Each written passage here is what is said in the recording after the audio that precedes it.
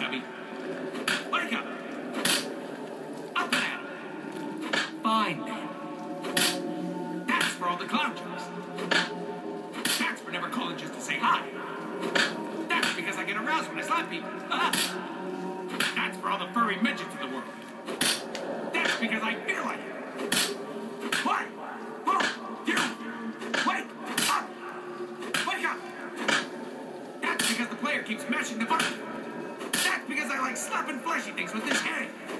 That's for being in more comics than me. That's for making me love you.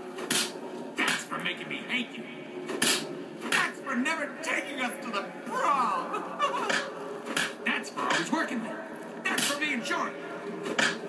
That's for stabbing me in the heart. Literally.